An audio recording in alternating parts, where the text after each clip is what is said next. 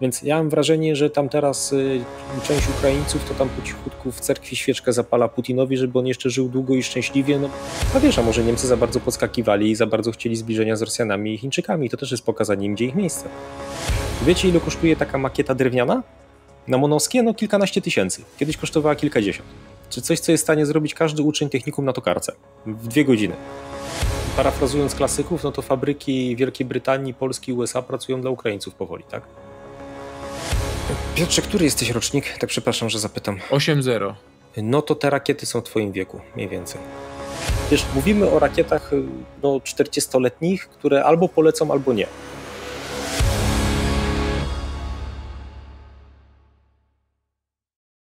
Piotr Zychowicz, historia realna.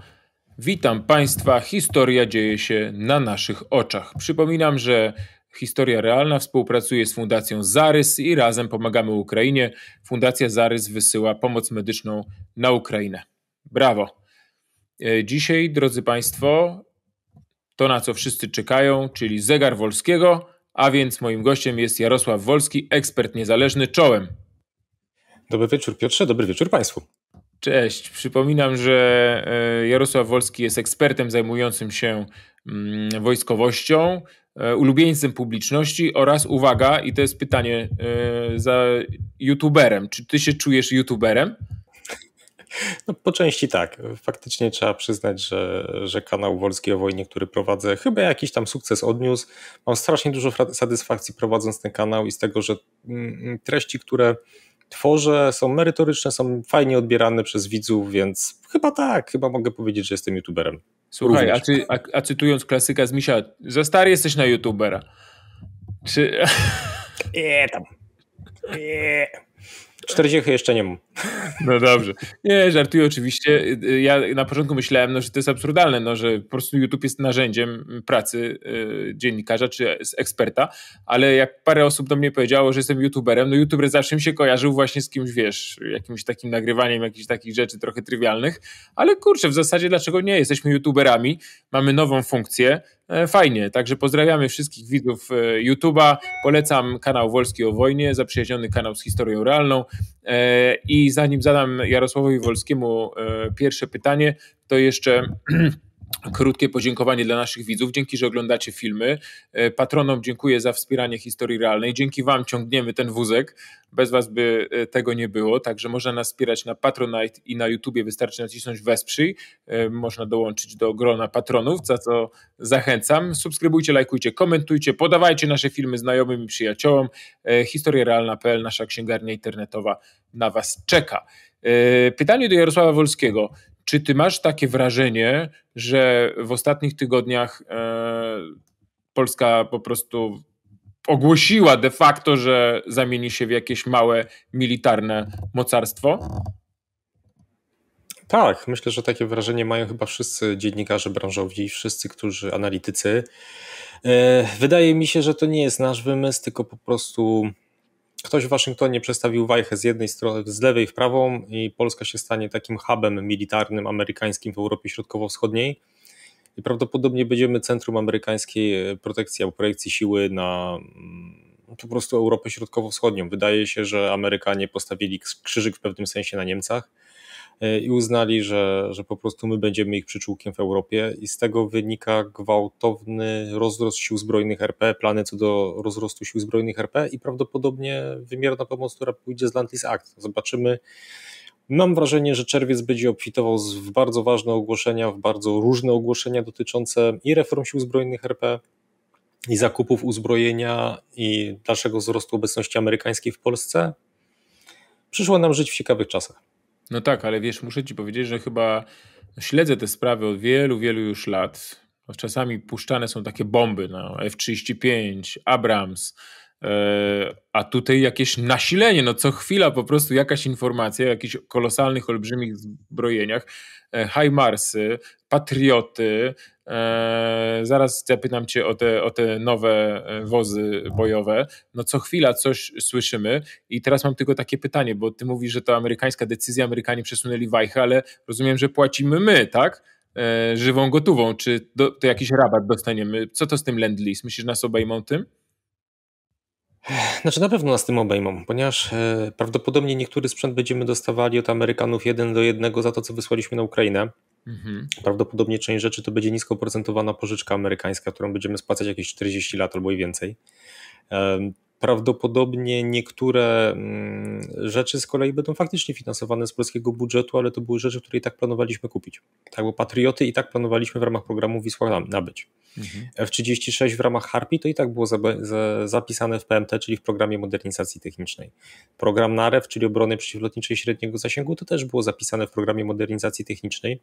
Czyli tutaj będziemy mieli do czynienia z takimi dwiema rzeczami, czyli to, co było zapisane i co tak czy siak mieliśmy finansować sami, a dodatkowo e, to, co zostało ekstra kupione, co będzie ekstra kupione, albo co będzie kupione w większej ilości, no bo przecież tych HIMARSów to my kupujemy tak, tak. 500 wyrzutów. 25 dywizjonów więcej niż planowaliśmy kupić, tak, tak przynajmniej, no tak, może 24 dywizjony więcej niż planowaliśmy kupić, czyli jakiś kosmos. Tak, więc no teraz, żeby było jasne, to nie jest tak, że nagle ktoś oszalał i te ilości są jakoś, nie wiem, przeskalowane i tego tyle nie powinno być. Nie no. Takiej ilości należy kupować, jeżeli się buduje armię, która będzie miała pięć dywizji, która będzie oparta o wojska pancerno zmechanizowane i która ma mieć realny potencjał do obrony kraju albo do realizacji zobowiązań sojuszniczych. Więc to nie jest tak, że my, nie wiem, nagle upadliśmy na głowę jako siły zbrojne, jako politycy i nagle sobie kupujemy na zasadzie dawajcie, dawajcie byle więcej jeżeli chce się zbudować armię, która ma mieć samodzielne możliwości obrony kraju albo z lekkim wsparciem sojuszniczym, podkreślamy lekkim, tak? bo teraz się opieramy w większości na NATO. Natomiast jeżeli faktycznie chcemy zbudować armię, która ma mieć możliwość do obrony własnego terytorium, same, własne, własnymi siłami przy lekkim wsparciu sojuszników, albo do realizacji zobowiązań sojuszniczych, obecnie wobec państw bałtyckich, w przyszłości może wobec Ukrainy, zobaczymy. W takim układzie faktycznie tej wielkości siły zbrojnej, czyli ja zakładam, że docelowo pięciu dywizji. Ta informacja jeszcze nie gruknęła, zobaczymy, co, co nam pokaże czerwiec. Ja podejrzewam, że się skończy na pięciu dywizjach, na ogłoszeniu budowy piątej dywizji. Czyli teraz mamy cztery, tak? I tej ilości sprzęt w tym momencie i tak potężne zakupy. Tak, cztery dywizje mamy w tej chwili, z czego ta najmłodsza, 18 jest tworzona, no ale ona jest najsilniejszą dywizją, która wysysała ludzi i sprzęt z pozostałych trzech. No a teraz ma, ma to być odwrócone o tyle, że ma postać dodatkowa piąta dywizja, ale ma być sprzętu dla wszystkich i kasy też. Natomiast tam, gdzie ja widzę oczywiste zagrożenie, no to ilość e, żołnierzy, tak? Tu jest problem w siłach zbrojnych RP, tu jest bardzo poważny problem i moim zdaniem to będzie problem nierozwiązywalny, chyba że otworzymy jakiś program pod tytułem Obywatelstwo za służbę e, albo, albo odwiesi się zasadniczą służbę wojskową. Ja osobiście trzeciego wyjścia nie widzę.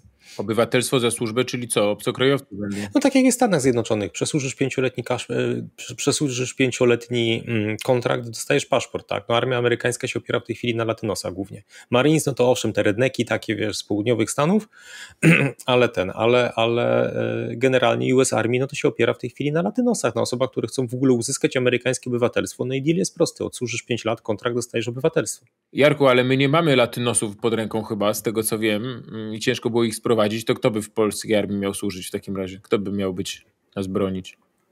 Ja myślę, że wszyscy, którzy chcieliby się e, i byliby łatwi do naturalizacji. Białorusini, generalnie e, dawne narody Rzeczypospolitej powiedzmy, e, no i dawny Związek Radziecki. Ja myślę, że to są osoby, które nie miałyby problemu z naturalizacją i myślę, że gdyby armia polska otworzyła się na te osoby w zamian za obywatelstwo, no to te problemy kadrowe byłyby znacząco zredukowane, o ile by to oczywiście zrobiono z głową, czyli na wzór amerykański, tak. Czyli ci żołnierze byliby rozproszeni, rozproszeni terytorialnie, rozproszeni po jednostkach, bo to jest to, o czym tobie kiedyś mówiłem, że na przykład Żydzi mają tak wielu imigrantów z byłego Związku Radzieckiego, no bo tam na 8,5 milionowy kraj, czy 8, tam 8 milionów 400 bodajże, 1,5 miliona to są imigranci z byłego Związku Radzieckiego. I oni mieli taki problem, że w końcu oficjalnie wprowadzili rozkazy, które zakazywały umieszczania Żydów z byłego Związku Radzieckiego w jednym czołgu, bo oni zamiast się uczyć e, po hebrajskiemu, widzisz, to oni gadali po rusku. No i w końcu, i to był, i to był na tyle duży problem dla, dla armii Izraela, że systemowo zmusili, żeby po prostu Żydów z byłego Związku Radzieckiego rozparcelowywać po załogach, tworzyć mieszane załogi, żeby oni uczyli się mówić, e, a nie żeby rozmawiali po rosyjsku. I wiesz, i być może u nas byłoby podobnie, tak, ale z drugiej strony budowa silnej armii, no wiesz, no pytanie skąd na to będą pieniążki, tak, ale, ale jeżeli naprawdę chce się e, mieć e, siły zbrojne zdolne do obrony terytorium państwa polskiego, zdolne do zabezpieczenia jego interesów i do pomocy realnej sojuszniczej, no to niestety takie kosmiczne ilości sprzętu należy kupować. A pamiętaj, Piotrze, że od 1990 roku wojsko polskie było polem w zasadzie ciągłych redukcji. Dopiero budowa 18 dywizji zaczęła to odtwarzać, niezależnie jak ją oceniamy. Tak? No, obecnie oceniamy ją pozytywnie z perspektywy tego, co się wydarzyło na Ukrainie. E, przed Ukrainą no to ona była oceniana raczej negatywnie niż pozytywnie, to się zmieniło wraz, wraz z wydarzeniami na wschodzie. Natomiast wiesz, jakby nie patrzeć, no to wojsko polskie było redukowane przez prawie 30 lat. I jeżeli chodzi o sprzęt, i jeżeli chodzi o e, ludzi. Niektórzy eksperci, na przykład Tomek Dymitru, który robi absolutnie kapitalną i fantastyczną robotę w ocenie programu modernizacji technicznej, uknuli taki termin e, modernizacja wyspowa, czyli kupowaliśmy takie nieliczne sztuki sprzętu, które były bardzo nowoczesne w morzu posowieckiego e, sprzętu, czyli a to F, F15, F-16, a to Rosomaki, a to się udało kupić przeciwpancerne pociski kierowane Spike, a to udało się kupić, to wiesz, to były takie rodzynki w cieście, które były wypieczone jeszcze z czasów PRL. E, no i w tej chwili przez 30 lat w zasadzie wszystkie rządy i to wszystkie od prawa do lewa, nieważne czy patrzymy na, na PO czy na PiS, wszystko jedno, tak? Wszystkie rządy oszczędzały na monie. To się dopiero zmieniło po 2014 roku, kiedy na, wszyscy nagle się obudzili z krzykiem, a nie no, że jednak siły zbrojne są po to, żebyśmy nie gadali po rusku, tak? E, no i wiesz, i dopiero wtedy zaczęło się finansowanie takie realne sił zbrojnych, zaczęło się odtwarzanie pewnych jednostek, zaczęły się programy zakupowe nie zapisane w PMT, bo one zapisane były od zawsze, tylko one były zapisane i przesuwane, tak? Takie wieczne nigdy.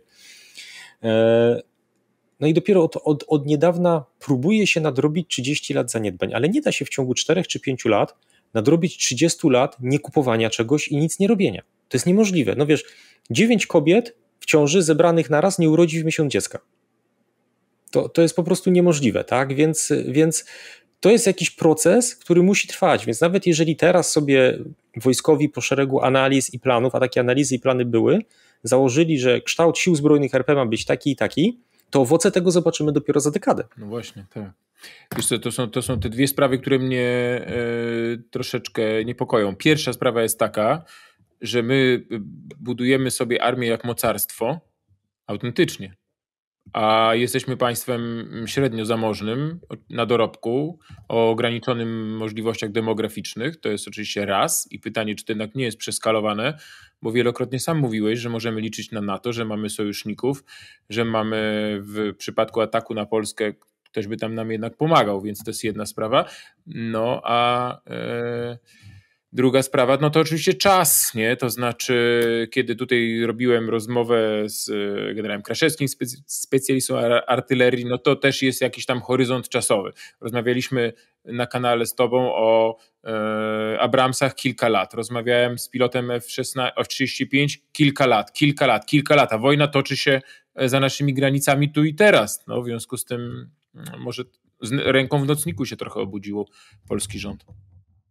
Nie, to jest po prostu ostatni możliwy moment, żeby faktycznie coś na serio zacząć robić siłami zbrojnymi, z perspektywy, że my się nie przygotowujemy do tej wojny, która trwa, tylko do wojny, która kiedyś będzie.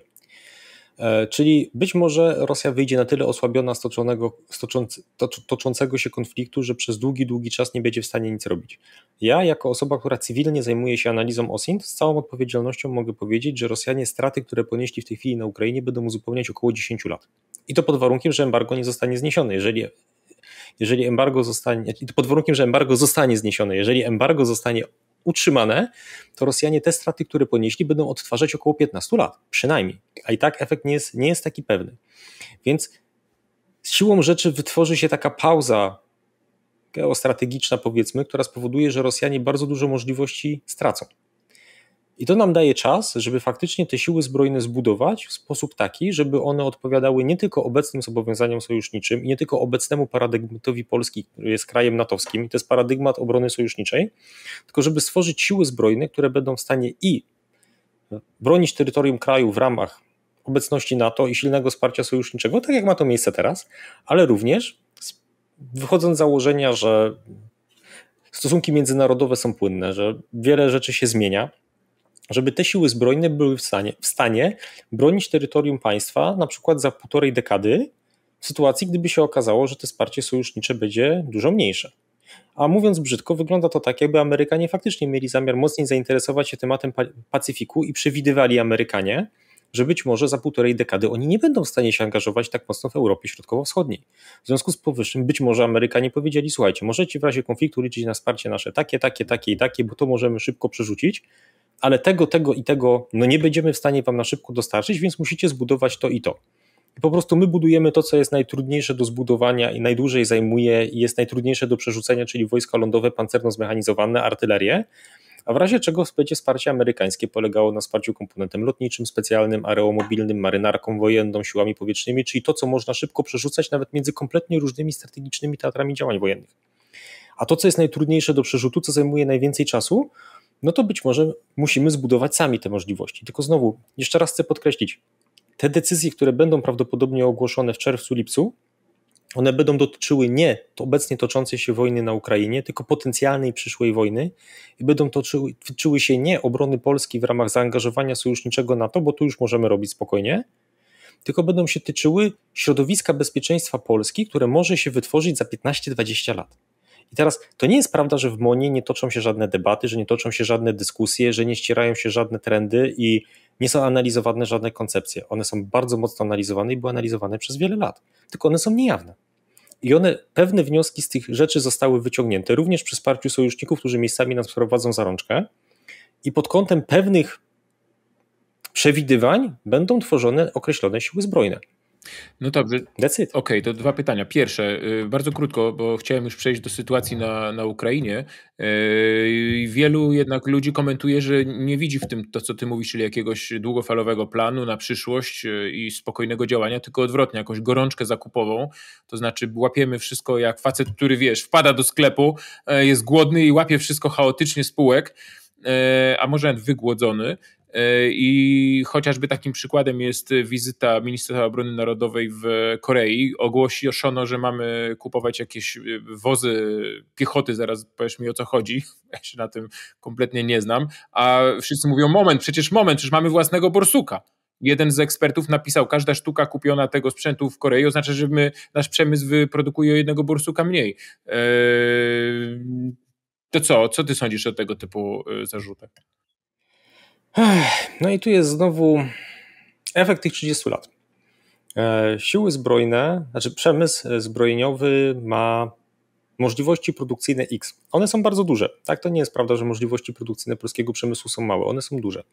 Natomiast w sytuacji, w której wszyscy na świecie, że tak powiem, gorączkowo zaczynają produkować sprzęt, czy Amerykanie, e, czy Niemcy z powrotem, czy Polacy, no to okazuje się, że kiedyś nie było problemów z tak mało ważnymi komponentami jak silniki, mm, jak armaty, jak amunicja, nagle się okazuje, że w sytuacji, w której wszyscy zaczynają to gorączkowo kupować, to zaczyna brakować tak trywialnych rzeczy jak mosiąc, jak stal, e, jak okablowanie do pojazdów. No i jeżeli, nie wiem, kiedyś na przykład wyprodukowanie, strzelam, to jest przykład hipotetyczny, wyprodukowanie na przykład z 300 pojazdów zajęłoby na, w reżimie takim wojennym, nie wiem, dwa lata, no to teraz możemy powiedzieć, że zajmie przynajmniej 4 do 5 lat. No i teraz, jeżeli zakładamy, że będzie budowa pięciu dywizji w Polsce, no to trzeba kupić tych bojowych wozów piechoty tak około 1400 sztuk. No i prawdopodobnie, ja się z tym oczywiście teraz mówię całkowicie nie zgadzam. Moim zdaniem należy po prostu zwiększyć moce produkcyjne w polskim przemyśle i produkować więcej borsuka, a nie, za, nie, a nie kupować zagraniczny bojowy wóz piechoty do tego pływający. Ponieważ Koreańczycy produkują dwa bojowe wozy piechoty, AS-21 Redback, czyli taki cięższy, niepływający i K-21, czyli pływający. Ten K-21 pływający to jest taki gorszy borsuk. Gorszy system kierowania ogniem, mocniejsza armata, ale de facto gorsza z punktu widzenia spełniania zadań bojowego wozu piechoty. Gorszy kadłub, słabiej opancerzony, gorzej pływa. Szału nie ma, może tak to określę. Tak? To jest jednak pojazd, który jest dwie dekady starszy od borsuka. No i ktoś w Monie wpadł na genialny pomysł, że skoro na szybko potrzebujemy bojowych wozów piechoty, no to kupmy trochę tych koreańskich, które będą montowane być może na licencji w Polsce, no a jednocześnie przemysł wyprodukuje bursuki, no bo przecież i tak trzeba będzie w, w polskim przemyśle tysiąc paręset bursuków zamówić, tak czy siak, tak? No to przecież polski przemysł się naje, a skoro potrzebujemy na już na szybko, to kupmy te wozy z Korei. Ja osobiście się z tym nie zgadzam, ponieważ z punktu widzenia cyklów kosztu życia jest to absurd. Ponieważ zakup jakiegoś sprzętu, już kiedyś to u, tobie, u Ciebie mówiłem dwa razy na kanale, powiem po raz trzeci, jak będzie trzeba mówić, to będę mówić co, co odcinek. Zakup czegoś to kosztuje 20-30% utrzymanie potem tego w cyklu kosztu życia to jest 70-80%. Jeżeli ktoś z widzów nam nie wierzy, to proponuję sobie zrobić taki zeszycik, za ile kupiłem swój samochód. I nieważne, czy to jest samochód y, za 5 tysięcy, 15, 20, czy wyjechaliście nowym samochodem ze salonu za 100 tysięcy.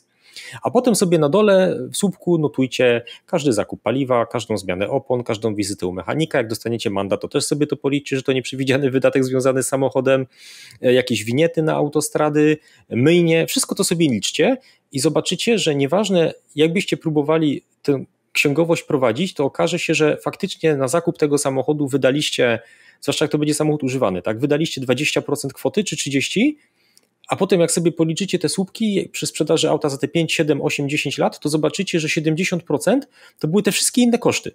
I słuchajcie, to samo jest ze sprzętem wojskowym, tylko jest nieporównywalnie gorzej, bo to jest potwornie drogie. Bo wiecie, e, e, wiecie ile kosztuje taka drewniana makieta gabarytowo-masowa wyrzutni przeciwlotniczej GROM, nie? bo to żołnierzom na poligonie się daje taką drewnianą, obtoczoną na tokarce makietę, żeby oni nie obijali tego pocisku, ale muszą się nauczyć to przenosić, no bo muszą wiedzieć jak przenosić coś, co jest duże i waży tak. To wiecie ile kosztuje taka makieta drewniana? Na Monowskie? No kilkanaście tysięcy. Kiedyś kosztowała kilkadziesiąt. Czy coś, co jest w stanie zrobić każdy uczeń technikum na tokarce w dwie godziny. E, więc MON generalnie płaci krocie, tylko że to jest takie ukryte dotowanie przemysłu zbrojeniowego, żeby on po prostu miał za co przeczekać te czasy małych zamówień. Tak? Jeden pocisk artyleryjski kosztuje 21 tysięcy złotych. Zużycie miesięczne takich pocisków to jest 20 y, parę tysięcy. Ko koszta związane z obsługą sprzętu wojskowego są niewyobrażalne dla, dla po prostu większości y, osób. 20 parę tysięcy sztuk. Tak, miesięcznie tak. To jest takie prognozowane zużycie amunicji. Nawet więcej bym powiedział, tak? bo są, są odpowiednie normatywy.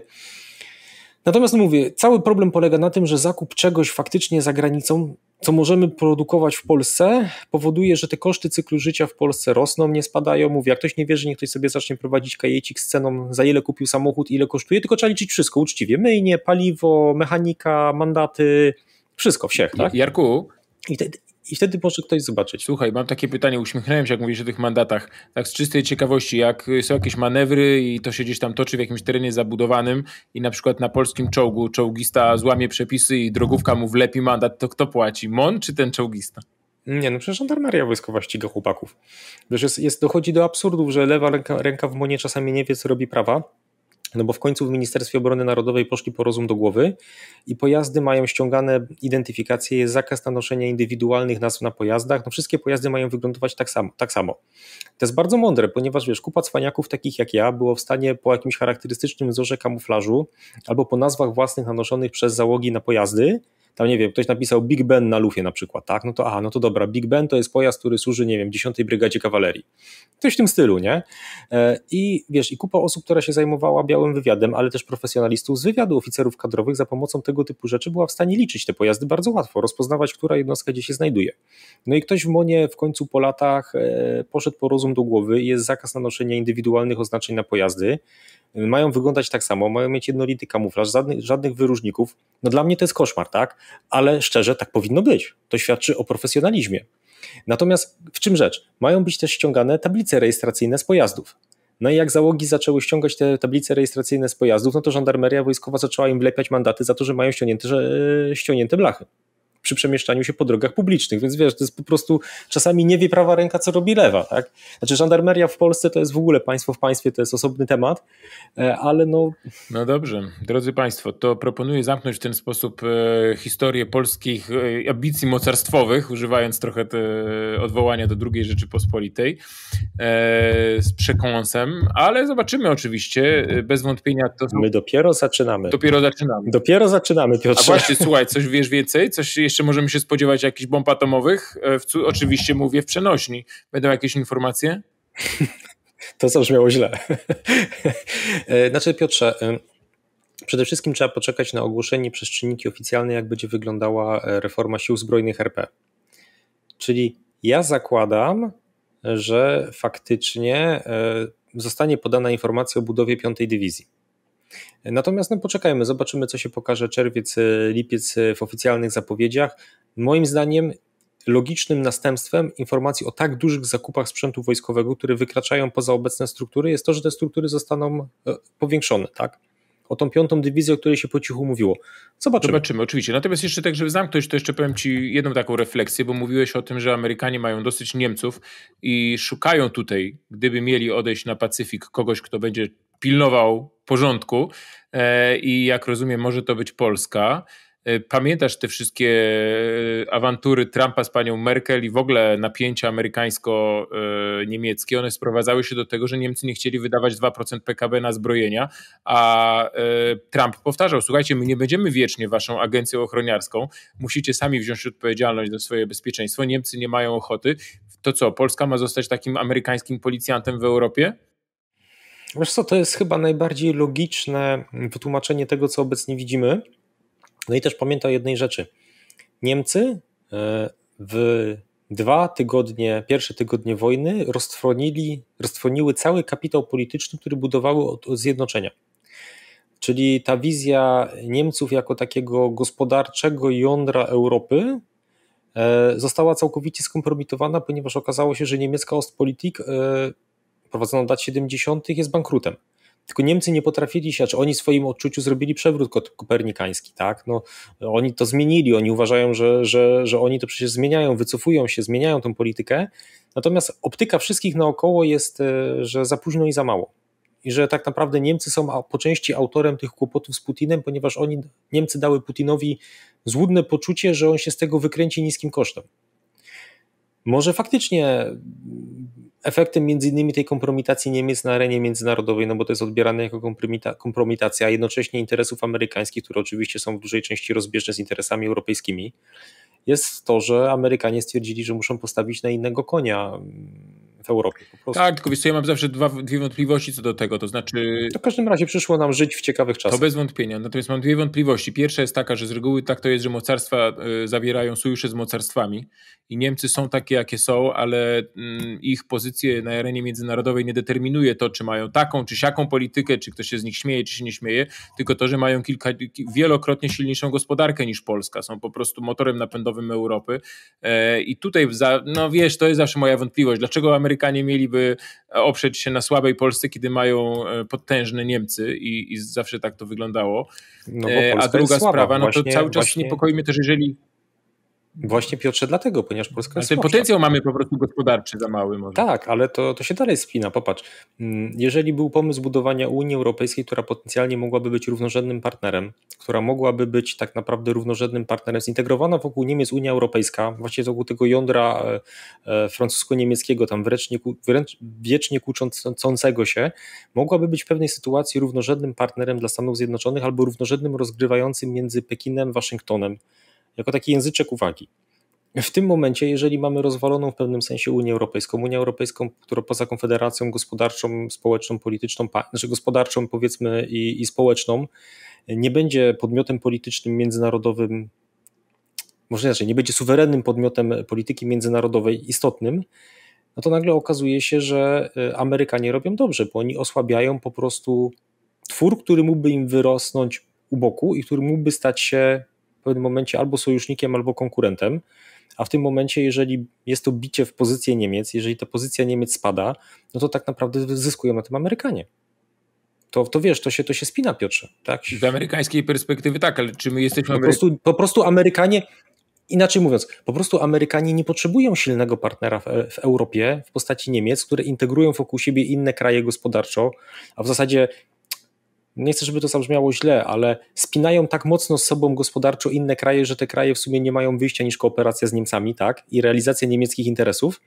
I w tym momencie, jeżeli Amerykanie nie potrzebują silnych Niemiec, które próbują budować podmiotowość Unii Europejskiej i zarządzać nią poprzez swoją gospodarkę, no to to ma sens, tak? To w tym momencie opieramy się znowu na bardziej klasycznych, e, powiedzmy, wyznacznikach państwa, niż tylko gospodarka. Znaczy, gospodarka jest jednym z nich, rzecz jasna, ale wiesz, w tym momencie no, następuje po pierwsze wygodne dla Amerykanów rozbicie jedności Unii Europejskiej, która już powiedzmy jest mniej lub bardziej mityczna, osłabienie pozycji Niemiec, a wiesz, a może Niemcy za bardzo podskakiwali i za bardzo chcieli zbliżenia z Rosjanami i Chińczykami, to też jest pokazanie im, gdzie ich miejsce.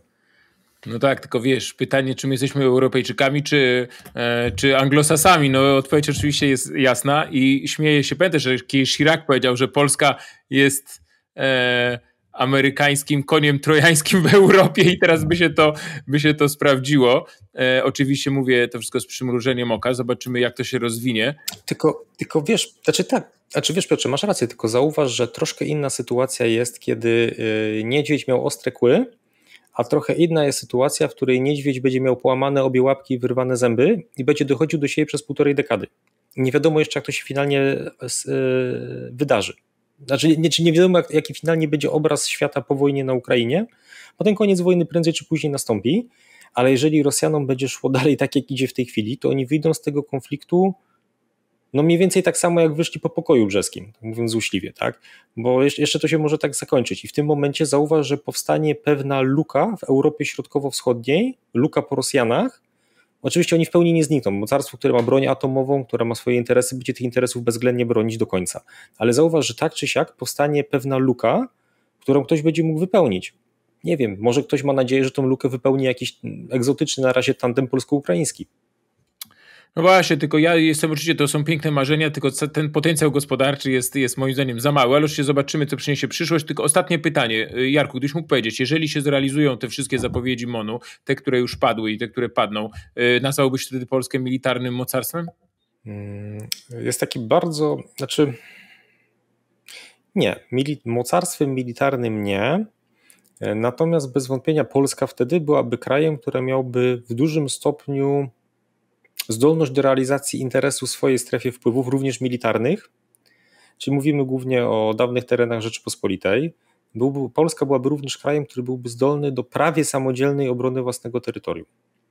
E, czyli nie licząc tylko na pełne wsparcie sojuszników z NATO, tak jak obecnie, ale zakładając, że to wsparcie może być w formie minimalnej albo minimalnej potrzebnej, inaczej rzecz biorąc, będziemy w stanie obronić się prawie sami to jest wartość dodana. Za to warto trochę zapłacić, moim zdaniem. To jest jasne. Dobrze, przechodzimy. Ponieważ obecnie sytuacja na arenie międzynarodowej jest taka, NATO jest takie, a nie inne, natomiast warto mieć jakąś polisę, zakładając, że jest pewna zmienność sytuacji międzynarodowej i ten świat za te 15 lat może być zupełnie inny niż, niż jest teraz. Oczywiście, oczywiście.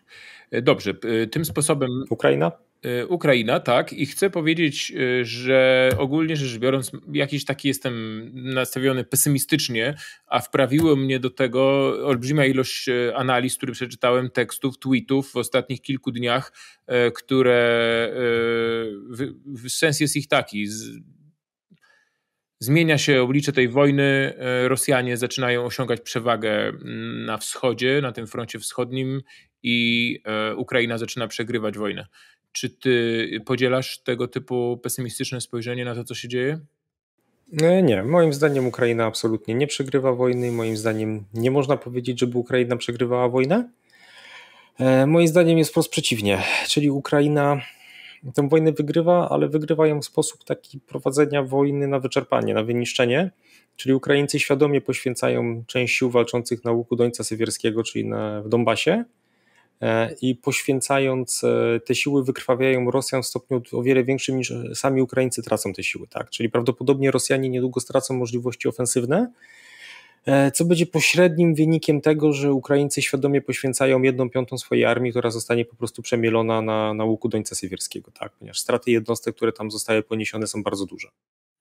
Dobrze, to proponuję, żebyśmy y, rozpoczęli nasz tradycyjny zegar Wolskiego, na który wszyscy czekają. Y, Jarek będzie pokazywał Państwu mapę, a ja będę przesuwał te wskazówki, więc proponuję zacząć, no tak powiedzmy jakaś tam to będzie chyba druga, y, czyli Charków. Czy tam walki wygasają, czy tam jeszcze coś się dzieje? Mm, w Charkowie walki Trwają na północ od miasta, tak? Czyli tam taki został skrawek terenu, który jest kontrolowany, jest trzymany przez e, Rosjan. Mm, oni tam powstrzymali akcje ofensywne Ukraińców. Na północy Charkowa nie dzieje się nic e, specjalnego w tej chwili. Tam operacje ofensywne Ukraińców zostały powstrzymane, e, ale i też Rosjanie są w zasadzie już przyparci do tej granicy rosyjsko-ukraińskiej. Charków jako miasto jest niezagrożone, nie widać żadnych symptomów zagrożenia dla tego miasta. Natomiast no, to miasto raz na jakiś czas jest ostrzeliwane przez Rosjan. Jeszcze to jest taki terrorystyczny ostrzał, który ma po prostu dezorganizować próby powrotu normalnego życia w, w tym mieście. No tak, rzeczywiście. Wydaje się, że Charków to jest taki trochę sytuacja mieszana. Z jednej strony uruchomione zostało metro niedawno z powrotem, wraca normalnie to miasto do życia, podnosi się y, z ruin, a z drugiej strony kilka dni temu informacja, że kilku, siedmiu bodajże mieszkańców Charkowa zginęło w jakimś nagłym e, ostrzale, więc Rosjanie nękają bez wątpienia e, to miasto, e, ale, ale tutaj jest na plus. A teraz proponuję, żebyśmy się przeszli przenieśli tak na godzinę trzecią chyba, czyli co, to Donieck i tu się chyba rozgrywa największy dramat obecnie, tak? Znaczy Donieck, Sewierodonieck. No, w Sewierodoniecku jest sytuacja taka, że toczą się walki o miasto. Tam dwa dni temu, właśnie wczoraj różne tam prorosyjskie portale, konta twitterowe rzuciły informacje, że Ukraińcy wycofują się z Sewierodoniecka, że dwie brygady ukraińskie, które bronią Sewierodoniecka, no, wycofują się za rzekę. Jak na razie nie ma potwierdzenia tych informacji, co więcej, wydaje się, że to nie jest prawda, że Ukraińcy dalej jednak bronią tego miasta. Właściwie ruin tego miasta, bo tam się toczą o nie intensywne walki. W razie czego Ukraińcy bez większych problemów będą w stanie wycofać się do Lis Lisiańska, czyli na, na drugą stronę rzeki, a na razie po prostu bronią tego, co zostało ze Sewierodoniecka, angażując całkiem spore siły e, rosyjskie. E, natomiast jeżeli chodzi o, o sam Sewierodoniec, no to to miasto jest po prostu bronione przez Ukraińców. Jeżeli zapadnie decyzja o wycofaniu, to nie będzie to oznaczało żadnego przełomu na froncie, żadnej klęski ukraińskiej no po prostu się wycofają, tak? E, mówiliśmy o tym, że, że dobrze byłoby, żeby oczywiście nie powtarzać e, tragedii e, mieszkańców Mariupola, który po prostu, o czym zaraz będziemy jeszcze mówić, bo tam są jakieś absolutnie wstrząsające informacje, ale to zaraz dojdziemy na południe. Powiedz mi, to teraz te największe walki, te wojna na wyczerpanie, te pojedynki artyleryjskie, gdzie teraz dokładnie się toczą? To jest w zasadzie cały łuk Dońca Sewierskiego, czyli od Izjumu na północy, który jest zajęty przez Rosjan, przez Sewierodoniec po miejscowość Popasną na południu. E, to Popasna już została zdobyta przez Rosjan. I cały ten łuk Dońca Sewierskiego, e, aż do Popasnej, która już nie jest oczywiście na, na łuku, to jest teren intensywnych walk, gdzie Ukraińcy bronią się i świadomie wykrwawiają swoje brygady, no ale Rosjanie atakując ponoszą dużo cięższe straty. Więc jest to po prostu e, świadome, świadome działanie Ukraińców, którzy wykrwawiają Rosjan i chyba wykrwawili na tyle skutecznie, że znowu ta ofensywa rosyjska utknęła. Zobaczymy, jak się to rozwinie. Na razie z punktu widzenia ukraińskiej obrony na łuku Dońca Sywierskiego wygląda to źle, ale nie beznadziejnie. Natomiast dla atakujących Rosjan wygląda to jeszcze gorzej, ponieważ Rosjanie stracili naprawdę bardzo dużo siły, atakując, waląc głową w ten ukraiński mur. E, ale trzeba pamiętać o tym, że Rosjanie tracą w zasadzie ostatnie siły zdolne do jakichś takich e, kontrofensyw, do ataków, a Ukraińcy wykrwawiają tylko jedną piątą swojej armii. Resztę odtwarzają, resztę mają w rezerwie, więc sytuacja z punktu widzenia takiego dużego obrazka dla Ukraińców jest jednak lepsza niż dla Rosjan. Rozumiem.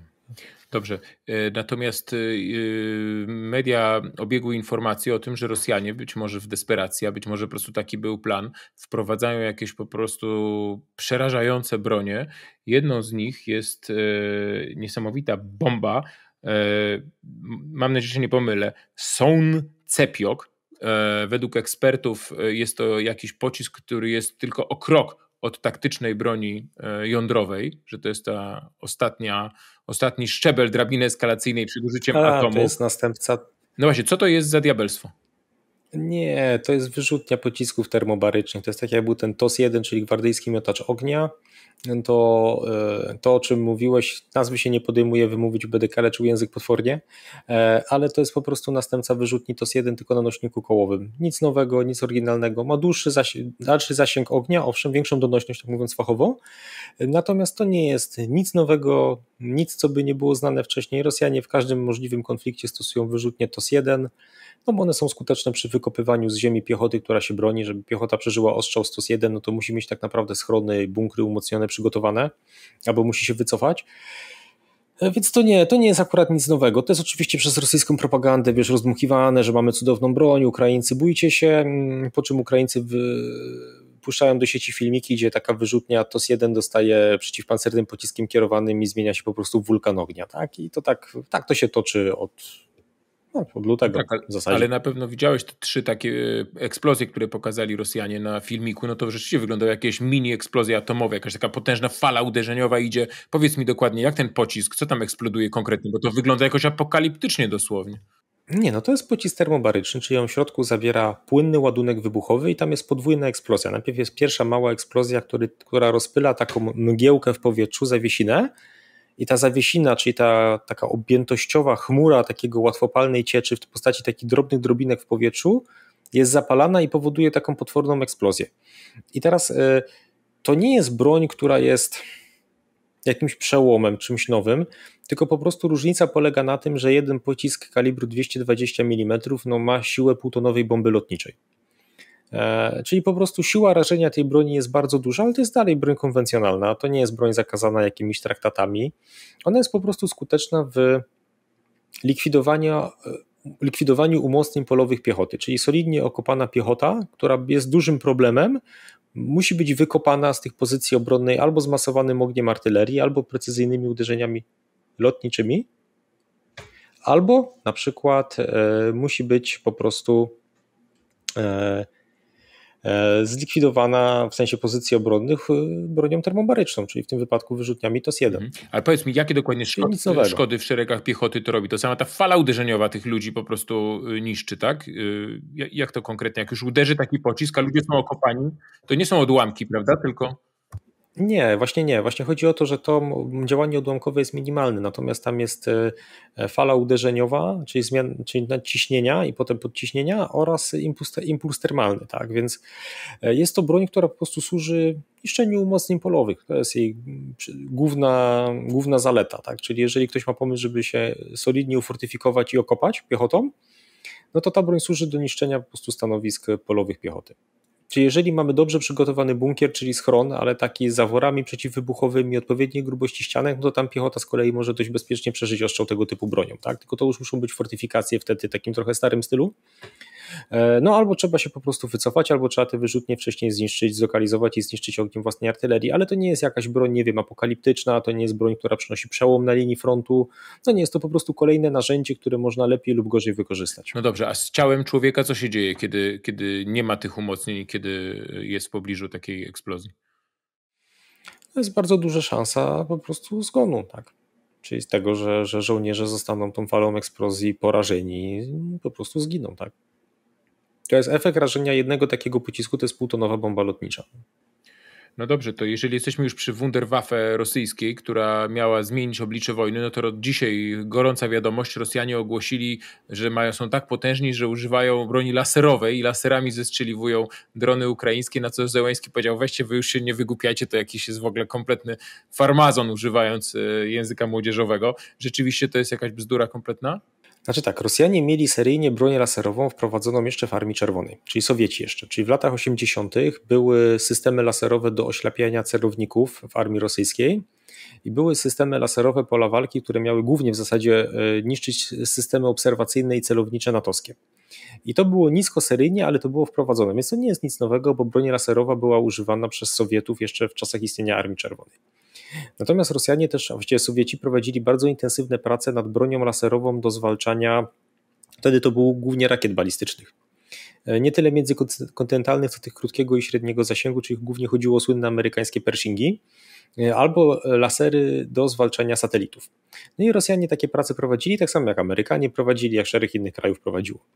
No i Rosjanie są tak zdesperowani po prostu ilością dronów latających nad ich głowami i tym, że mają do wyboru albo włączyć szerokopasmowe zagłuszenia, które wyłączą wszystkie drony poza polskimi, no ale wtedy też sami tracą łączność i sami tracą możliwość używania własnych dronów, więc zwykle tej obrony przeciw, czy tej, zwykle tych zagłuszeń nie włączają, w efekcie czego są obrabiani ukraińską artylerią, no albo mają do wyboru próbować strącać te drony.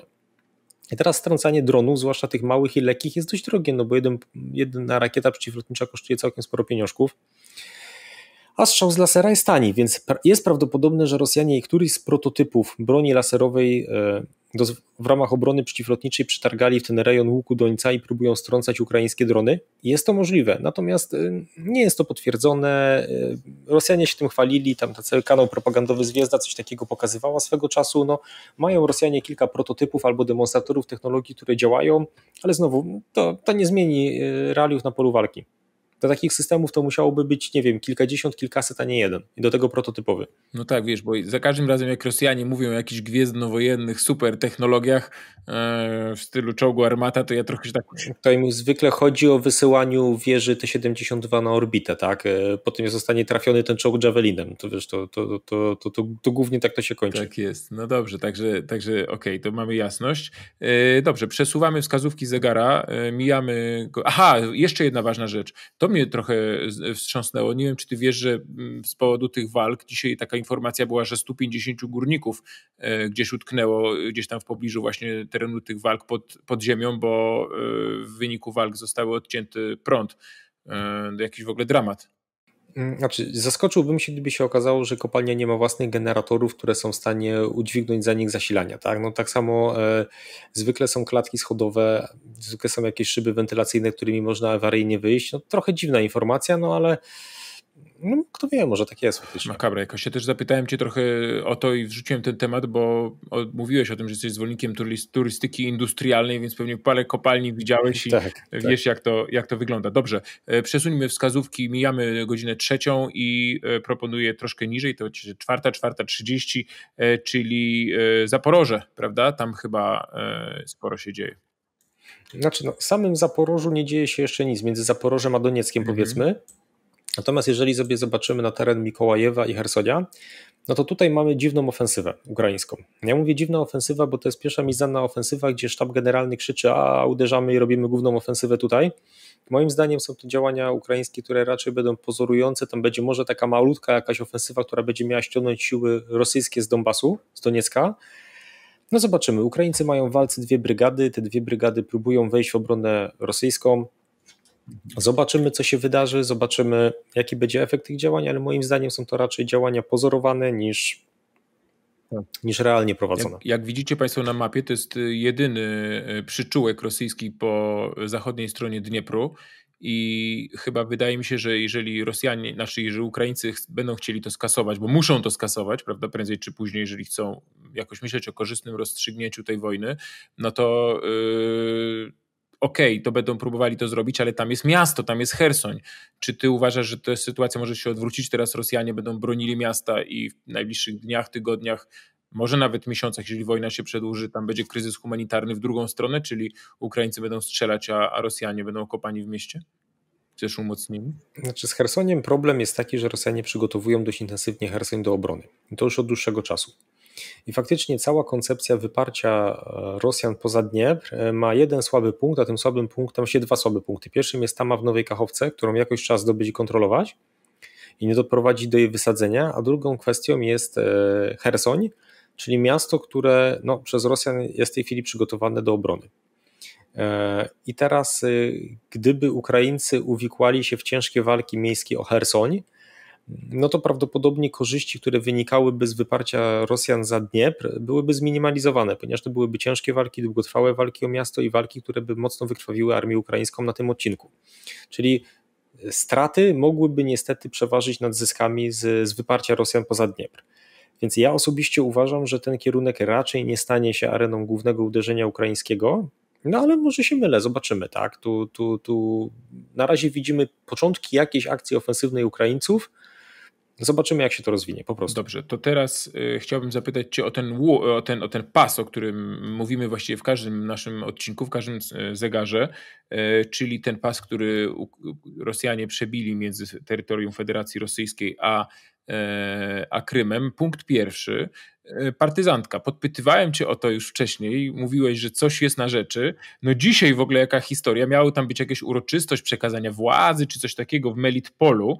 E, tam jest jakiś kolaborant, tego określają ukraińskie władze, niejaki pan Balicki i potężny wybuch podczas tego Rosjanie w mieście w panice, jakaś kuzynka tego, tego, tego człowieka wywieziona na, na, na noszach. E, jak rozumiem, już tam działają e, ukraińscy partyzanci, tak? To był atak partyzancki? Czy... Znaczy, su, su, su, SBU, czyli Służba Bezpieczeństwa Ukrainy i wojskowi to od dłuższego czasu działają w tym pasie i sytuacja dla Rosjan jest na tyle zła, że oni do osłony pociągów z transportami wojskowymi zaczynają wysyłać helikoptery żeby z powietrza po prostu osłaniać te pociągi ponieważ nawet zaangażowanie pociągów pancernych, bo pierwsze co zrobili Rosjanie, to wyciągnęli ze składów pociągi pancerne, czyli to były pociągi, które miały osłaniać właśnie składy, z, znaczy miały osłaniać trasy kolejowe, patrolować je i osłaniać transporty wojskowe. No i to wyciągnęli Rosjanie pociągi pancerne, ale one okazały się być niewystarczającym rozwiązaniem problemu, ponieważ faktycznie siły specjalne ukraińskie wysadzają obiekty mostowe, Rosjanie potem je naprawiają, Faktycznie e, siły specjalne ukraińskie polują na kolaborantów, polują na struktury e, e, okupacyjne, które Rosjanie tam zakładają, mm, więc widać, że,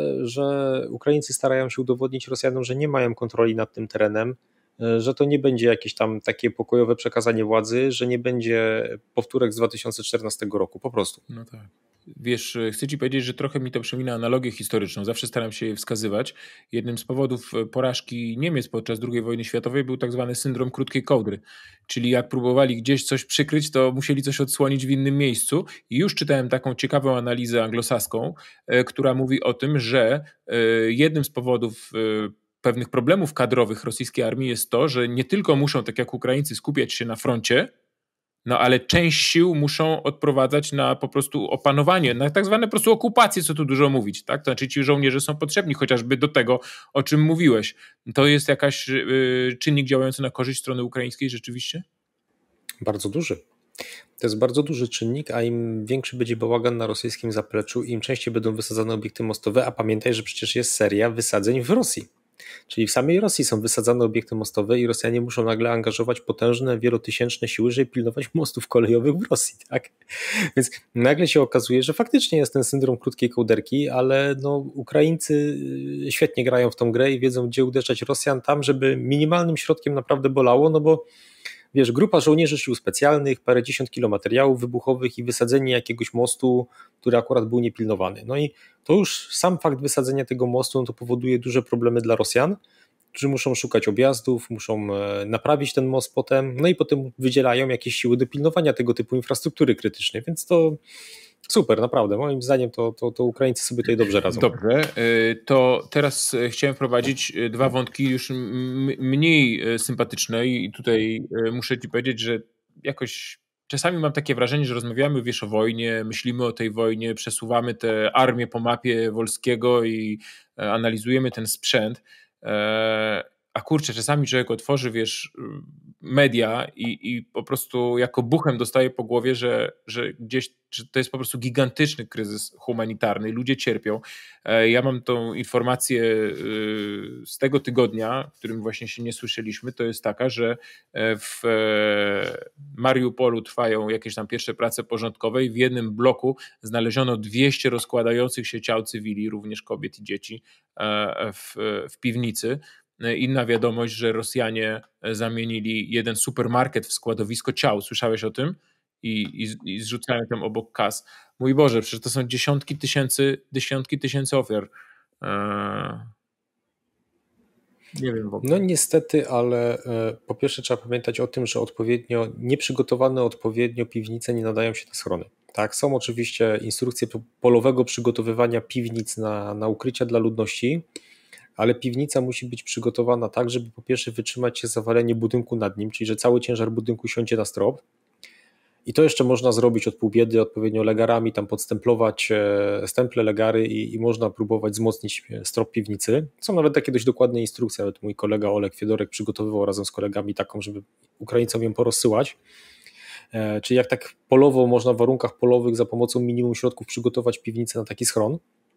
Natomiast Większym problemem jest wentylacja i wyjście awaryjne, ponieważ schron powinien mieć wyjście awaryjne przygotowane tak, żeby mm, w promieniu, który się równa e, półtorej wysokości budynku, z tego co pamiętam, czyli jak budynek ma, nie wiem, 20 metrów wysokości, to najbliżej 30 metrów od schronu musi być wyjście awaryjne, tak żeby nawet po tym rozsypaniu się budynku i przysypaniu schronu ludzie mogli jakoś go opuścić. I najlepiej, żeby każdy stron miał dwa albo trzy takie wyjścia awaryjne w różnych kierunkach, tak, żeby zawsze ci ludzie mogli się ewakuować. No i ukrycia przygodne, e, przygotowywane w piwnicach, no nie mają ukryć awaryjnych, często nie mają odpowiedniej wentylacji, e, nie mają zaworów przeciwwybuchowych, czyli takich, które są w stanie wytrzymać podmuch bliskiej eksplozji, żeby ta fala eksplozji nie wdarła się do schronu.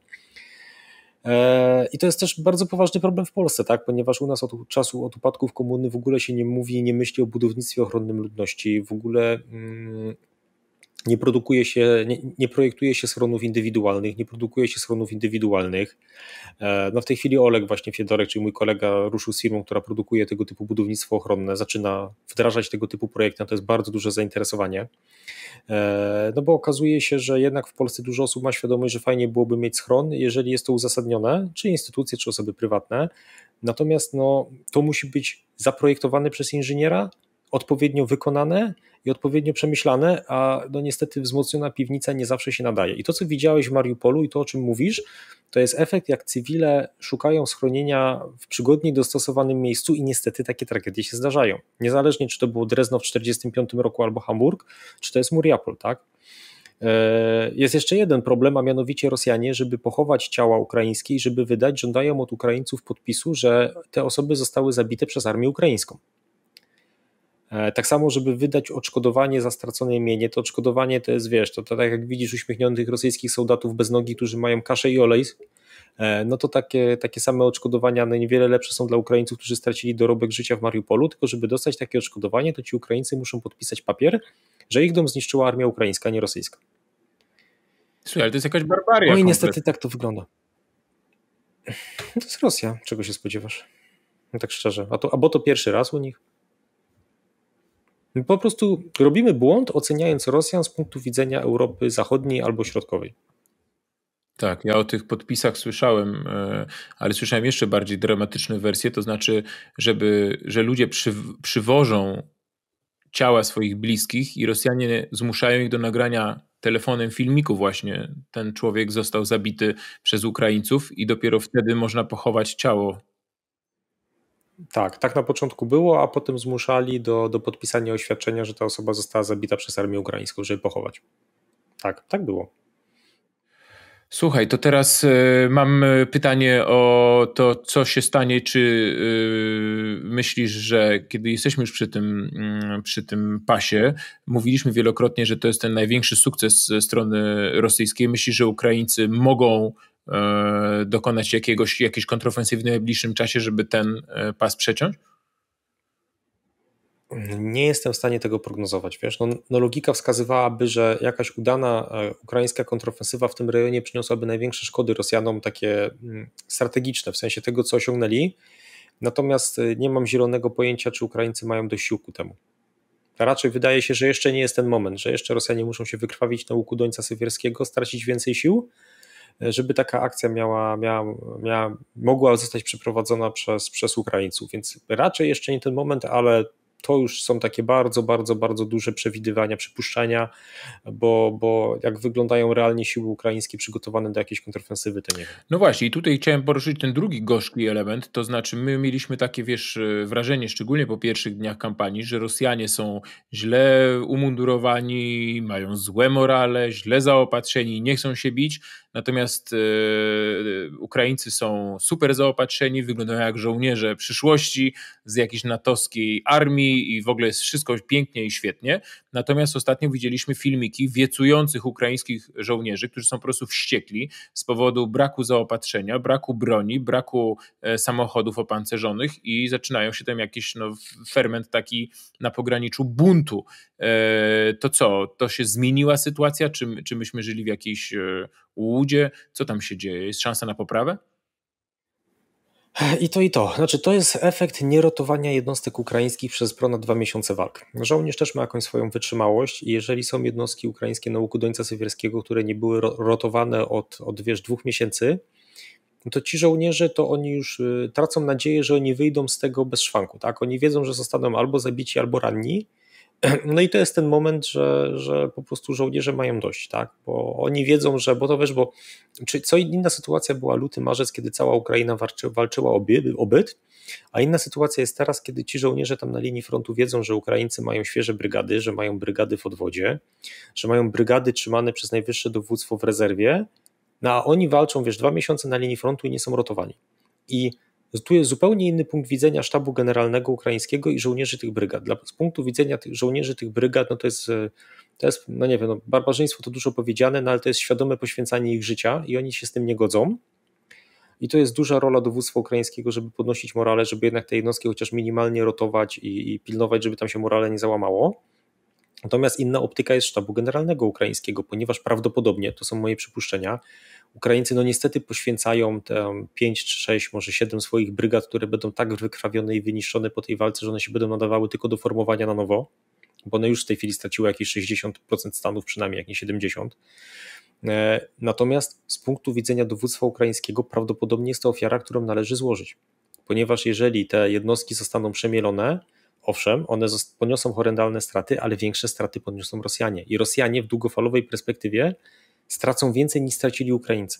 Więc prawdopodobnie taka jest optyka sztabu generalnego ukraińskiego, który po prostu te jednostki składa na ołtarzu no ale oczywiście żołnierze na linii walki się z tym nie godzą, tak? I też należy ich zrozumieć. Nie, no oczywiście, że tak, oczywiście, że tak. Y, to jest właśnie wojna na wyniszczenie w pigułce. Natomiast mnie to tylko zaniepokoiło to, że w tych oglądałem kilka takich właśnie filmików i ludzie są wściekli, że nie mają zaopatrzenia. I to jest dla mnie zaskakujące, bo cały czas czytamy, wiesz, w całych wagonach, pociągach specjalnych z zaopatrzeniem, które wjeżdżają z państw NATO, a potem gdzieś to co się gubi po drodze na ten front, co się z tym dzieje, to jest. Tu chodzi o nawet nie o Gwardię Narodową, tylko o obronę terytorialną. Okazuje się, że niektóre brygady obrony terytorialnej były faktycznie źle dowodzone, że tam było złodziejstwo i korupcja. Natomiast no, Załański, z tego co wiem, to chyba dwóch dowódców obrony terytorialnej brygad zdjął w ogóle z dowodzenia i sprowadzone postępowanie wyjaśniające, czyli jakieś patologie tam były i żołnierze protestowali, ale Ukraińcy zareagowali błyskawicznie. No, jeżeli ma się armię, która jest tak duża i która się tak intensywnie rozrosła, no to siłą rzeczy musi dochodzić do jakichś patologii. Natomiast to, co jest symptomatyczne, to to, że ci żołnierze nie buntowali się, owszem, wiecowali, ale nie buntowali się i niejako prosili o interwencję sztab generalny i prezydenta. I ta interwencja miała miejsce, czyli to też jest, e, to wbrew pozorom świadczy o dobrym morale Ukraińców. Czyli o żołnierzu, który mówi: Słuchaj, my chcemy walczyć, my chcemy ginąć za nasz kraj, ale wiemy, że jesteśmy kiepsko zarządzani i prezydencie zrób coś z tym, tak? Bo mamy do ciebie zaufanie. Więc to, to wiesz, to też jest troszeczkę inna sytuacja, jak ktoś rzuca karabin i ja sobie idę, a mówi, dobra, my się bronimy, ale nie podoba nam się to, jak jesteśmy dowodzeni, bo widzimy, że jest patologia, zróbcie z tym coś, tak? Więc to, to, to nie świadczy wbrew pozorom o załamywaniu się morale. Y, sprzęt. Y, wszyscy mówią, że no, jeżeli się pojawią jakieś możliwości ofensywne dla e, armii ukraińskiej, no to oczywiście dzięki e, dostawom sprzętu. Jedno pytanie będzie o Amerykanów, drugie będzie o e, Polaków. Które mam zadać Ci pierwsze? Amerykanów. Amerykanów. Dobra. Dzisiaj Joe Biden drodzy Państwo, no informacja niesamowita, ogłosił, że dał zielone światło na dostarczenie czegoś, uwaga, przepraszam cię bardzo, ale to jest dla ciebie, e, do rozszyfrowania e, ta, ten skrót M31 GMLRS, czyli jakaś artyleria A. rakietowa 65 km zasięgu. Co to za, e, za, za historia? Znaczy, to, są, to jest pocisk rakietowy naprowadzany GPS, bardzo celny, który jest używany w wieloprowadnicowych wyrzutniach rakietowych HIMARS. Taki jeden HIMARS przenosi 6 tych pocisków. Jeżeli to jest wyrzutnia gąsienicowa MLRS, to on przenosi 12 pocisków. I to jest pocisk, który ma faktycznie zasięg około 6, nawet, nawet więcej niż 60 km może mieć zasięgu. Jest bardzo celny, bo tam mm, promień upadku to powiedzmy, no tak realnie tam parketingowo 6 metrów, a realnie tam około 25 metrów, co zważywszy na głowicę, jaką to przenosi, tak wystarczy. I to jest świetna broń, żeby y, masakrować Rosjan na zapleczu. Zaopatrzenie rosyjskie, artylerię, sztaby, no, bardzo dobrze, że Ukraińcy to dostaną. Tak, tylko wiesz co, i, bardzo interesująca była reakcja jednego z ukraińskich yy, przedstawicieli ukraińskiego rządu. On powiedział, że jak to dostaniemy, to będziemy tłuc w Krym. Hmm? I to mnie za bardzo no, przecież nie doleci. zaintrygowało. No przecież nie doleci. Nie doleci? To musieliby mieć ATA CMS o dużo większym zasięgu i tak by nie doleciały. To nie to. Natomiast faktycznie są pewne spięcia na linii, może nie spięcia, ale takie niejasności na linii Amerykanie, mm, e, ponieważ Ukraińcy chcieliby to mieć wszystko free to use, czyli używać gdzie chcą, jak chcą, natomiast Amerykanie no, podobno chcą na Ukraińcach wymóc, żeby pewnych celów nie atakowali amerykańskimi wyrzutniami. Chodzi głównie o cele na przykład na zapleczu, czyli żeby nie było sytuacji, że nie wiem, na przykład e, na Kursk spadnie taka amerykańska rakieta i rozwali jakieś zbiorniki z paliwem, albo na jakiś tam Briańsk, albo na inne, oczywiście teraz e, wyolbrzymiam, tak, ale żeby nie było sytuacji, że terytoria inne niż okupowane, okupowane przez Rosjan zostaną ostrzelane z użyciem tej broni. No czekaj, czekaj, ale to chodzi, chodzi może nie tyle o terytoria, tylko chodzi o to może, żeby też ludność cywilna nie ginęła, bo Amerykanie już mieli takie problemy z Izraelczykami. Pamiętasz, z bomb kasetowych, które no, Amerykanów tak. tłukli w Liban i ginęło, zginęło mnóstwo kobiet i dzieci. No i był tak, problem natomiast no, pytanie, pytanie, znaczy inaczej, to też nie mamy, mm, może inaczej, nie mamy niezbytych dowodów, że faktycznie takie tam e, e, wymiany mają miejsce. Prawdopodobnie jakieś będą ograniczenia w użyciu tego uzbrojenia przez Amerykanów nałożone, E, no ale to wiesz, to i tak jest jakościowo lepsza różnica jak za, niż, niż jak za czasów Donalda Trumpa, gdzie niby dostarczali, wiesz, wyrzutnie Javelin do do, na Ukrainę, natomiast był zakaz ich używania na poligonie po wschodniej stronie Dniepru, zakaz przemieszczania do jednostek liniowych i tak dalej. No tak, no przecież wiesz, za, za, za, za, za czasów tego, wiesz, y, y, agenta rosyjsko-chińskiego w Waszyngtonie, no to przecież ograniczenia to były jakieś kuriozalne, więc nawet jak dali jakieś uzbrojenie, to się okazało, że w zasadzie nie mogli z niego korzystać. Tak? No ale teraz to żeś urwał, jak to mówią. Już widzę burzę, e, burzę w komentarzach. Myślę, że można o Trumpie też swego czasu zrobić, e, zrobić ciekawą dyskusję, ale jeszcze punkt B naszej, e, naszego, e, naszego przeglądu tego, co Ukraina dostała albo dostanie. Kolejne triumfalne ogłoszenie Ukraińców. Dostali jakieś rakiety Ziemia, Morze, to od Duńczyków bodajże. Harpuny. I, tak, i uwaga, teraz, powiedzieli Ukraińcy, możemy zatopić całą flotę czarnomorską Rosjanom. No pytanie, czy to jest e, znowu jakieś prężenie mózgów, a B, e, jeżeli to jest prawda, to dlaczego się nie zatopili? Piotrze, który jesteś rocznik? Tak przepraszam, że zapytam. 8-0. No to te rakiety są w twoim wieku, mniej więcej. Hmm. Może dwa lata młodsze. To są RGM-84C, harpuny, które były używane w bateriach duńskich brzegowych I ty jesteś w bardzo dobrym stanie, żeby nie było. Natomiast te rakiety niekoniecznie, bo one wiesz, one miały mieć wymieniane, e, one miały mieć wymieniane paliwo rakietowe, przegląd baterii, parę innych rzeczy. Wiesz, mówimy o rakietach no, 40-letnich, które albo polecą, albo nie. Te rakiety były wyserwisowane przez, odkupione od Duńczyków przez Brytyjczyków, wyserwisowane, umieszczone na podwoziach, które Amerykanie skombinowali, no i faktycznie są wysłane na Ukrainę. Teraz tak, to jest cenne wzmocnienie zdolności ukraińskich. Te rakiety są groźne, natomiast no znowu to nie jest Wunderwaffe. To jest narzędzie, które e, po prostu ma zastąpić Neptuny, które się pokończyły Ukraińcom, tak? Bo te Neptuny do tej pory mm, dość skutecznie odsuwały okręty rosyjskie od wybrzeża, no i Neptuny się skończyły Ukraińcom. No i teraz po prostu Ukraińcy poszukiwali czegoś od dłuższego czasu, co im, co im zastąpi te Neptuny, które mieli naprawdę w takich e, homeopatycznych ilościach. No dostali wyrzutnie, e, znaczy dostali RGM-84C harpuny, czyli no bardzo leciwe pociski, ale groźne, tylko pytanie jaka będzie ich usterkowość. E, natomiast, e, natomiast tu jest inny problem, to jest problem z gra o zboże, mm, ponieważ już widać, że na skutek rosyjskiego embarga, to jest znowu, tak się wszyscy śmieją z tej marynarki rosyjskiej, a że zatopili Moskwę, a że Makarow w ostatniej chwili uciekł spod topora, a że stracili kupę jednostek małych przy tej bitwie o Wyspę Węży. Natomiast nikt nie dostrzega tego, że e, embargo, właściwie blokada morska, którą Rosjanie założyli Ukraińcom, zaczyna być problemem światowym. Bo oczywiście kraje bogate, takie jak Stany Zjednoczone, Europa Zachodnia, to się wyżywią, tak? Tak, przypominając Jerzego Urbana, rząd się wyżywi. Natomiast problem zaczyna być z krajami afrykańskimi, problem zaczyna być z krajami trzeciego świata, dla których tanie zboże z Ukrainy to było być albo nie być. I w tym momencie, jak tego taniego zboża nie ma, no to może się zacząć głód. Więc ja jeszcze dopuszczam sytuację, tutaj oczywiście głównym hamulcowym są Turcy, ale ja jeszcze dopuszczam taką sytuację, że może się skończyć na konwojach natowskich, które będą eskortować dostawy zboża z Odessy. Wcale bym się nie zaskoczył.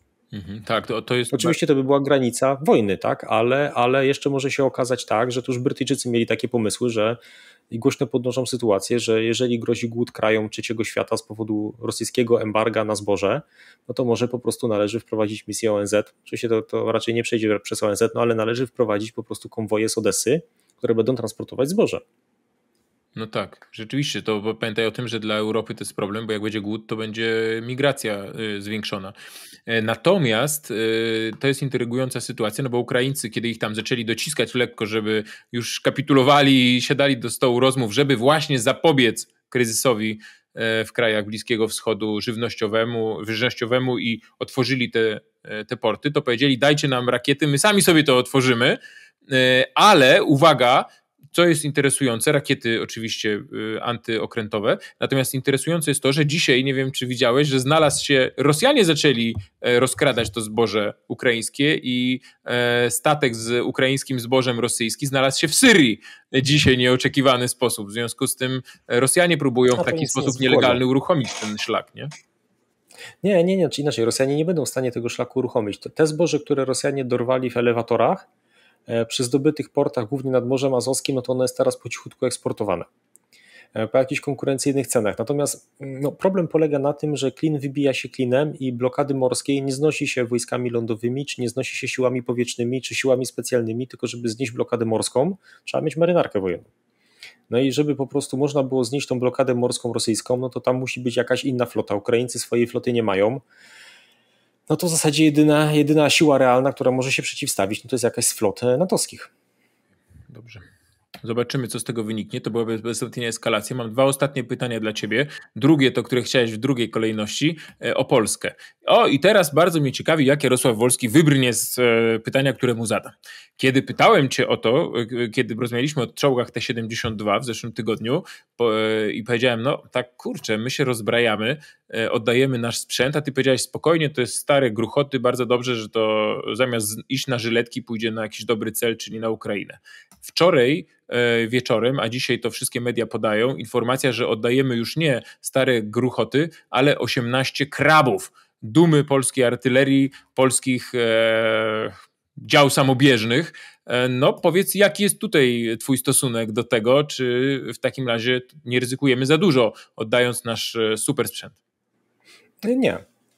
Nie, bo pamiętajmy o tym, że te działa idą w bardzo szczytnym celu, a mianowicie one będą walczyć za nasz kraj, ale w najlepszy możliwy sposób, czyli na ukraińskiej ziemi i płacąc za to ukraińską krwią. Tak? Czyli zwiększa się bezpieczeństwo Polski poprzez wykrwawianie Rosjan, poprzez niszczenie armii rosyjskiej, ale my bezpośrednio nie ryzykujemy. E, poza tym trzeba pamiętać o tym, że będziemy przekazywali prawdopodobnie działa pierwszej serii produkcyjnej, a to są pojazdy, które już, na których było robione szkolenie, które są częściowo wyeksploatowane, które mają jakieś choroby wieku dziecięcego. Żeby było jasne, kraby są bardzo udanymi armatochałbicami samobieżnymi. One są bardzo udane, to nie są najlepsze na świecie, ale to jest taka wyższa średnia półka i bardzo, bardzo dobre armatochałbice samobieżne. Mega udany produkt. I e, bardzo dobrze, że podarowaliśmy 18 sztuk Ukraińcom, ponieważ Ukraińcy no, próbują budować swoją artylerię w oparciu o kaliber natowski, tak? czyli poszczególne kraje NATO starają się dać Ukraińcom po jednym albo dwa dywizjony artylerii samobieżnej, tak żeby Ukraińcy mieli własną artylerię samobieżną albo holowaną w kalibrze 155 mm. Dlatego Amerykanie, Australijczycy i Kanadyjczycy dali te działa holowane M777, o których mówiliśmy. Dlatego Dlatego Norwegzy, Norwegowie dali e, M109 armatochaubice samobieżne. Dlaczego? Dlatego Duńczycy bodajże i Niemcy, albo Holendrzy i Niemcy mają dać pancerhaubice w ilości 8 sztuk. Dlatego Brytyjczycy mają dać AS-90 Braveheart. No i dlatego my dajemy kraby. Natomiast czytaj między wierszami, mam dziwne przeczucie, że to nie będą jedyne kraby, które od nas pójdą. Hmm, Okej, okay. No dobrze.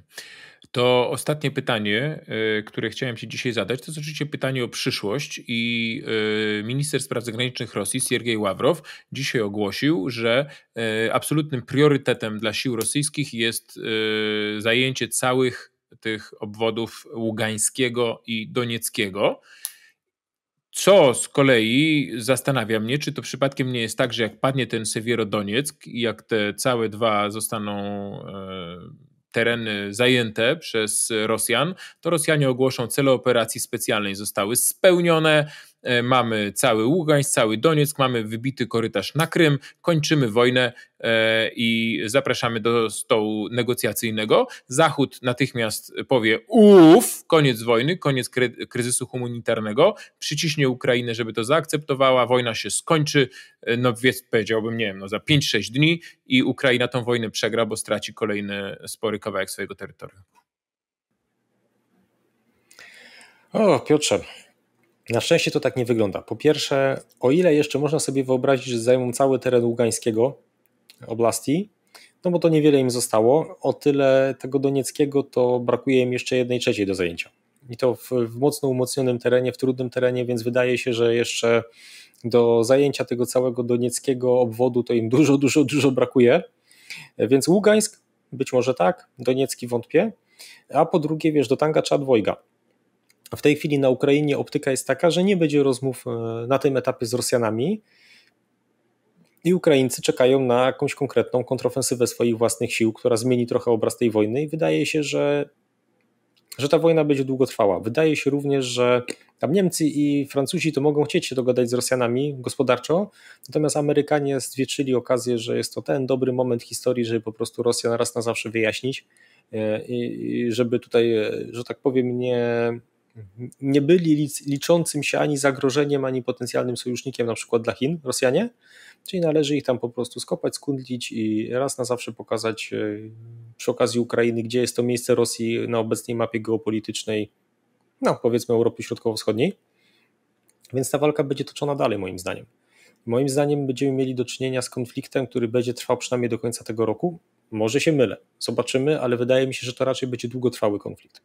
Zwłaszcza, że sami Ukraińcy, i to jest ważne, nie godzą się z tym, co się dzieje. Sami Ukraińcy mówią, że nie ma mowy o rokowaniach pokojowych i o rozmowach w momencie, w której Rosjanie okupują 20% terytorium Ukrainy i są popełniane przez Rosjan zbrodnie wojenne. Więc tutaj sama Ukraina, ludobójstwo i sami tutaj Ukraińcy nie godzą się z tym, co się dzieje i w związku z powyższym, no Zachód może oczywiście próbować naciskać na Ukraińców, ale umówmy się, że główne kraje, które w tej chwili dostarczają pomoc ukraińską, to, Ukraińcom, to są kraje anglosaskie, no i my, tak?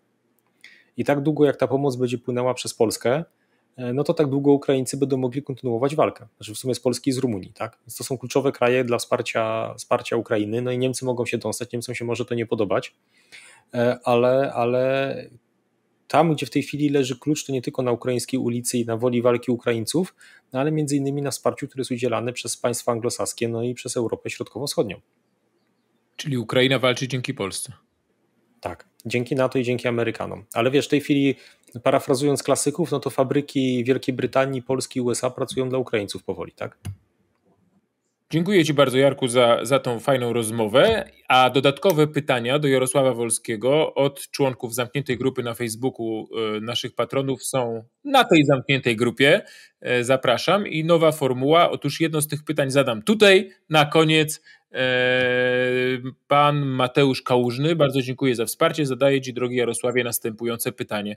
Coraz więcej słyszymy o działaniach ukraińskich na terenie Rosji, które zmierzają do likwidacji sługi narodu, czyli Zełęńskiego. I pytanie naszego patrona jest takie: czy myślisz, że Ukraińcy na terenie Rosji, ukraińskie służby działają w tą samą stronę, może w porozumieniu z Amerykanami? Krótko mówiąc, czy Ukraińcy polują na Putina? To jest bardzo ciekawe pytanie. Mm, e, Ukraińcy na pewno prowadzą jakieś działania spektakularne, które miałyby na celu dorwanie mm, części wierchuszki rosyjskiej. Natomiast e, paranoja w Rosji instytucjonalna jest tak dalece posunięta i Putin jest tak dobrze broniony, że osobiście mam wrażenie, że raczej to się nie wydarzy. Byłbym, nie, byłbym bardzo zaskoczony, gdyby coś takiego się wydarzyło, ale osobiście wątpię w to. Poza tym jeszcze jest jedna sprawa, Niekoniecznie dla Ukraińców śmierć Putina byłaby dobra, ponieważ po Putinie mógłby przyjść ktoś inny wyciągnięty, nie wiem, na przykład z gułagu, e, powiedzmy Aleksiej Nawalny, i na przykład rosyjska wierchuszka powiedziała: Patrzcie, mamy nowego lidera, demokratyczny, siedział, dogadujmy się, znośmy sankcje, zapłacimy jakieś reparacje, wycofamy się, biznes as usual. No przecież dla Ukraińców to by była katastrofa, tak? Zrujnowany kraj, ponieśli straty, e, a, a dużo krajów na zachodzie prawdopodobnie chwyciłoby to. Więc ja mam wrażenie, że tam teraz y, część Ukraińców to tam po cichutku w cerkwi świeczkę zapala Putinowi, żeby on jeszcze żył długo i szczęśliwie, no bo, no bo gdyby on w tej chwili kipnął i jakiegoś pseudodemokratycznego lidera znalazłby establishment e, e, rosyjski, no to byłaby tragedia, tak?